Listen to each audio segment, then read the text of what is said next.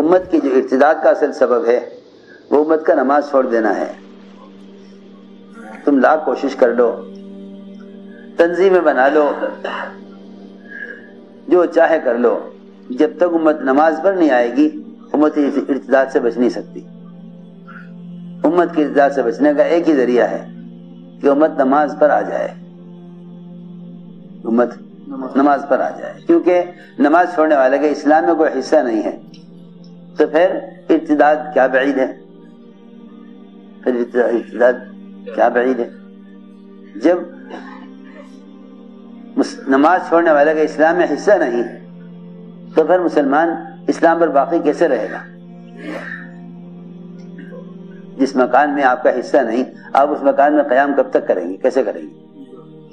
मिसाल के तौर पर जिस मकान में आपका हिस्सा नहीं, उसमें आप कब तक रहेंगे? का कौल है कि जो नमाज़ छोड़ दी, उसको इस्लाम में कोई हिस्सा नहीं। इस जमाने मुसलमान अपने वतन, अपनी ज़मीन पर अपना हक चाहते हैं। हालाँकि अगर नमाज़ छोड़ दे मुसलमान तो इस्लाम में उसका कोई हिस्सा नहीं। तो फिर ये ज़मीन से हिस्सा, कारोबार से हिस्सा, मुलाजमत से हिस्सा कैसे ले सकते हैं? मैं ये सोचता रहता हूँ कि इस जमाने में सारे मुल्क के मुसलमान इस एतबार से सोच रहे हैं कि हमें हमारा हक नहीं मिल रहा। यूँ नहीं सोच रहे कि हमसे अल्लाह का कौन सा वो हक ज़ाय हो रहा, जिससे हमारे अपने हकूक ज़ाय हो रहे।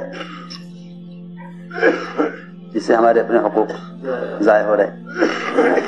हमारे हकूक पर क्यों गैरों का तसलुत है? वो तो हदीस में सराहतन फरमा दिया। साफ़, बिल्कुल।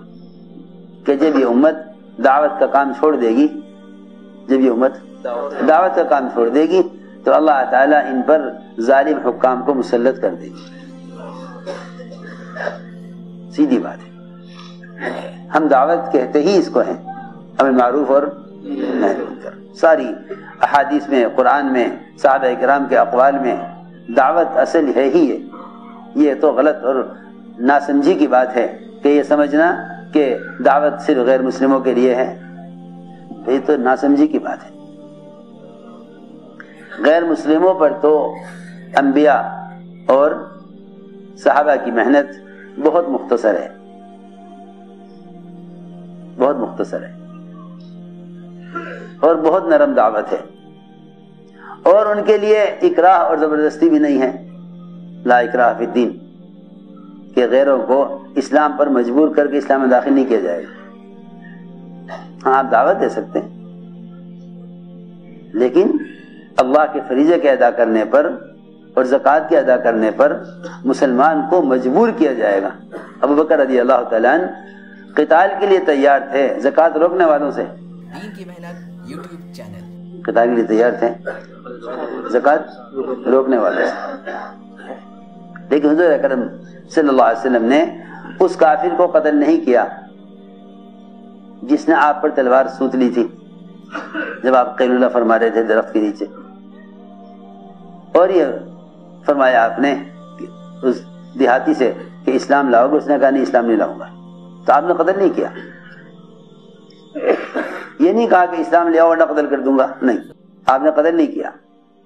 और मैंने लिखा है कि काफिर को इस्लाम के लिए मजबूर नहीं किया जाएगा। लेकिन उसने ये कहा कि मैं आपका, ना आपका मुकाबला करूँगा और ना आपका मुकाबला करने वालों की मदद करूँगा, ये मैं वादा करता हूँ। लेकिन इस्लाम में कबूल नहीं करता। तो मैं जाओ चले जाओ ना आपने उससे कोई इंतकाम लिया, ना उसको कत्ल किया, ना उसको कत्ल की धमकी दी इस्लाम कबूल करने के लिए। नहीं।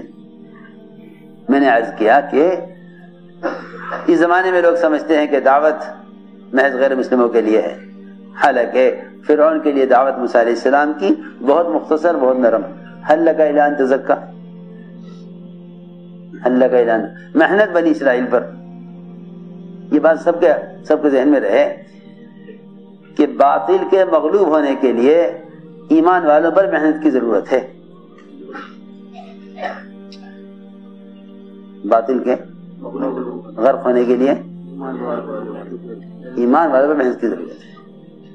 क्योंकि ईमान वाले ही हैं जो उन्होंने बातिल की मुद्दत को बढ़ाया हुआ है। ईमान वाले ही हैं जिन्होंने बातिल की मुद्दत को बढ़ाया हुआ है। हाँ ईमान वाले हैं, जिन्होंने बातिल की मुद्दत को बढ़ाया हुआ है।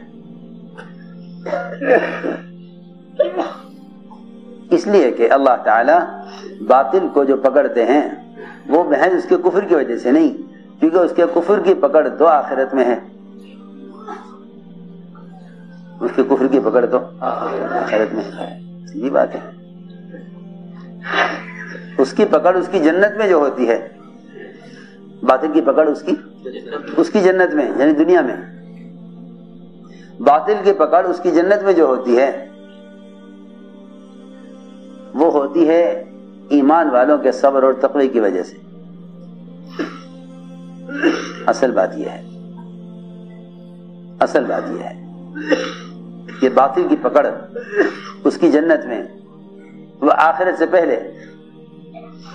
वो सिर्फ़ इसलिए होती है कि ईमान वाले अमाल और इबादत पर मुजतमा हो।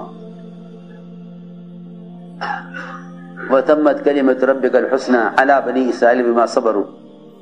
वदमरना माकान यसमा फिरौन अल्लाह ने फिरौन को पकड़ा है बनी इसराइल के सब्र और तक़ी की वजह से। तो सारे वादे के लिए पूरे कर दिए। सारे वादे सारे वादे पूरे कर दिए बनी इसराइल के लिए। और फिर उनको पकड़ लिया। आज भी यही बात है। जितने भी फरायना सारे आलम में हैं, इनके लिए हिदायत हमारी सबसे पहली चाहत है। लेकिन अगर मुसलमान ईमान हमारे साल पर मुजतमा है तो फिर बादल मुकाबले पर नहीं आ सकता। आएगा तो मगलूब हो जाएगा। वीडियो के नीचे सब्सक्राइब के बटन पर क्लिक करें, बेल के आइकॉन पर क्लिक कीजिए ताकि हर नई वीडियो की नोटिफिकेशन आपको मिल